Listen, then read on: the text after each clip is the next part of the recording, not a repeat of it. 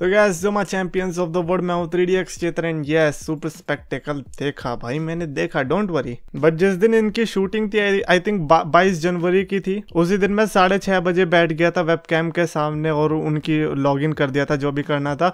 And show शुरू हुआ actually में साढ़े नौ बजे। तो जो पहला एक्सपीरियंस था, वो थोड़ा बोरिंग तो था बट मज़ा आया था, जैसे शुरू हो गया था। उसके बाद मतलब सबसे बढ़िया बात तो ये कि जो ओपनिंग होती है ना, उस ओपनिंग पे ही मेरा स्क्रीन दिख गया था। तो हाँ ये कह सकते हैं कि इंडिया में डब्ल्यू की जब ये शुरुआत हुई है, उसके पहले पाँच सेकंड में मैं भी हूँ। Yes this is bigger than winning a championship but anyways I think superstar spectacle was good and जैसा कि काफ़ी लोगों ने ये भी कहा कि वो रॉ से ज़्यादा अच्छी थी, मैं बिल्कुल मानूँगा। वो रॉ से ज़्यादा अच्छी थी एंटरटेनिंग थी। ऑफ़ कोर्स स्टोरी लाइन नहीं थी बिकॉज़ वो सिर्फ़ शो के लिए शो बनाया गया था कि हाँ देखो, हम आ रहे हैं। एंड आई डोंट नो कि हर हफ़्ते देखने को मिलेगा अभी कुछ या नहीं, अभी के लिए तो सच कुछ कन्फर्म हुआ नहीं है।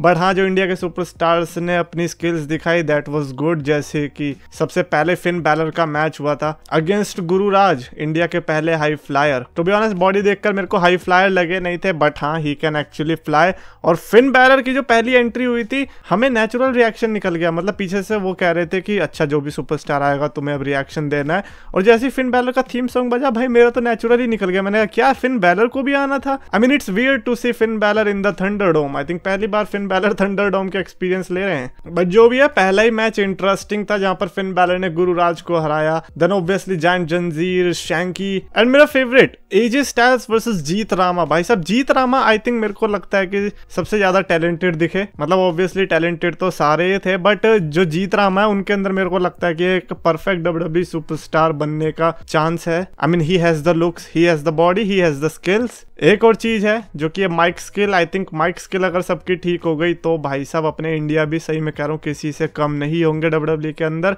थोड़ी थोड़ी AJ Styles versus Kurt Angle वाली फील आ गई थी। एंड एंडिंग वाज गुड जो फिनोमिनल फोराम था और सबसे बढ़िया बात एजे स्टाइल्स क्लीन नहीं जीते। एजे स्टाइल्स की ये बात बढ़िया लगी क्योंकि ओमोस की हेल्प की वजह से वहाँ पर मैच जीते जिसकी वजह से जीत रामा ब्यूरी नहीं हुए। एंड फाइनली इंडस शेयर के साथ मेन इवेंट था with Drew McIntyre against Jinder Mahal ये the returning boy and Bollywood Boyz everybody wanted कि ड्रू मैकिंटायर और जिंदर महल का फेस ऑफ़ हो लेकिन ऐसे होगा ये शायद कि, किसी ने एक्सपेक्ट नहीं किया था। यहाँ पर मैकिंटायर एंड इंडस शेयर ने मैच जीता था।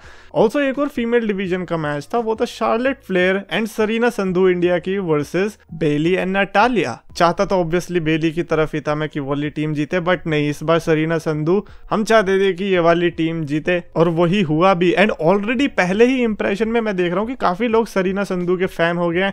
आई डोंट नो लुक्स की वजह से या स्किल्स की वजह से बट जो भी है, उनके लिए तो फ़ायदा ही है। ऑल्सो एक और चीज़ मेरे को बढ़िया लगी, मैं रिएक्शंस देख रहा था तो बाहर के जो लोग थे, मेरे को ऐसा लगा था कि, अरे यार खाम खाब इंडिया वालों को बेजती सहनी पड़ेगी बिकॉज़ सोशल मीडिया पर वो तो हगने वाले ओ माई गॉड ये तो एक और क्राउन ज्वेल जैसा इवेंट हो गया. बट सरप्राइजिंगली वहाँ के लोगों को ये पसंद आया था। I am not going to say कि हर बंदे को पसंद आया था, वो कभी नहीं हो सकता। इंडिया में भी हो सकता है कि कई लोगों को ये पसंद ना आया हो, ऐसे बाहर भी होंगे, लेकिन बाहर भी काफ़ी अच्छा रिस्पॉन्स मिला। मतलब मतलब हमारी लाच रख ली। सऊदी अरेबिया जैसा हाल नहीं हुआ हमारा। तो ये overall I think it was a fun show and I want to see कि अब इसको यहाँ से कैसे आगे लेकर जाएँगे लोग। ऑल्सो एक जो पिक्चर थी वो मेरे को बहुत फ्रस्ट्रेट कर रही थी वो ये भाई ट्रि, ट्रिपल एच को कहाँ गड्ढे में डाल दिया? ये क्या हो रहा है? आई थिंक ट्रिपल एच को ये वाली फ़ोटो नहीं खिंचवानी चाहिए थी let's be honest anyways Urdu Kahani world लिखते थ्री डी एक्स इतना आपका favourite wrestling gimmick and worst gimmick कौन सा है? मेरा फेवरेट गिमिक जो है वो Ric Flair and Macho Man Randy Savage का है। और वर्स्ट गिमिक अगर मैं कहूँगा तो आई डोंट नो यार एज सच कोई वर्स्ट गिमिक है नहीं, सही बताऊँ तो। मतलब सही में ऐसा कोई गिमिक नहीं है जिसके लिए मैंने अपने दिलों में रंजिश लेके बैठा हूँ इतने सालों से कि यार, ये वाला गिमिक अगर मेरे को दिख गया ना, मेरे सामने उसकी हड्डी पसली तोड़ दूँगा।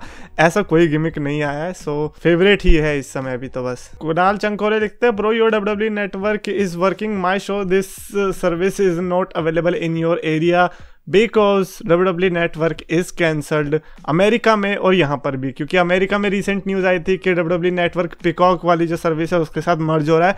और हमारे यहाँ पर डब्ल्यू नेटवर्क मर्ज हुआ है सोनी लिव के साथ, जो सोनी लिव की वेबसाइट है, वहाँ पर आप खरीद सकते हो। और भाई, बहुत कत्ल प्लान है। मतलब आई गेस तीन सौ रुपये के आसपास पूरे साल आपको देखने को मिलेगा डब्ल्यू नेटवर्क और कहाँ तो डब्ल्यू नेटवर्क पे सात सौ रुपए देने पड़ते थे एक महीने के।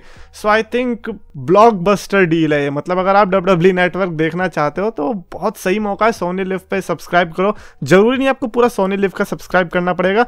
आप उसके अंदर डब्ल्यू नेटवर्क का प्लान ले सकते हो जो कि तीन सौ रुपए का है। मैं यहाँ पे प्रमोट नहीं कर रहा हूँ, मैं बस बता रहा हूँ इनकेस अगर किसी को नहीं पता तो। सक्स एवरीथिंग लिखते हैं Fauji game launched it has the same concept of fighting tiger all the now I don't play any phone games so to be honest Fauji ah मैंने वीडियो देखी आई एम नॉट एक्साइटेड मैं download करने की सोच रहा था, लेकिन सही में गेम प्ले देखकर मन नहीं किया। और रही बात मेड इन इंडिया की तो भाई ऐसा भी नहीं है कि मेड इन इंडिया है तो मैं कुछ भी सपोर्ट करूँगा, क्योंकि इसके पहले जो मेड इन इंडिया का गेम आया था राज़ी वो बड़ा प्यारा था। और अभी एक और मेड इन इंडिया गेम के लिए एक्साइटेड हूँ गेम इवन स्टूडियोज बना रहे हैं, मुंबई गलीस पहला ओपन वर्ल्ड गेम बन रहा है इंडिया की तरफ़ से। और नाम से आप पता लगा सकते हो कि जगह कहाँ की होने वाली है ऑब्वियसली अपने इंडिया की। सो आई थिंक जो मुंबई में एक्चुअल लोकेशन है वही को यूज़ करने वाले हैं। और open world games like G T San Andreas Vice City इस चीज़ को हमें सपोर्ट करना चाहिए। सो so, देखते हैं कि कब ये रिलीज़ होगा। और मोबाइल गेम्स मैं भी नहीं खेलता। मैं दिन में पता नहीं मोबाइल ही बहुत कम चलाता हूँ। जब भी मेरे को ट्विटर पे उल्टी करनी होती है मैं बस तभी चलाता हूँ। टॉम एंड जेरी लिखते हैं how is number one and two Royal Rumble match what is your prediction okay so number one and number two के लिए मेरी प्रिडिक्शन जो कि काफ़ी आइकॉनिक रहते हैं। ज़्यादातर रॉयल रंबल्स के हमें number one and number two and number thirty याद रहते हैं।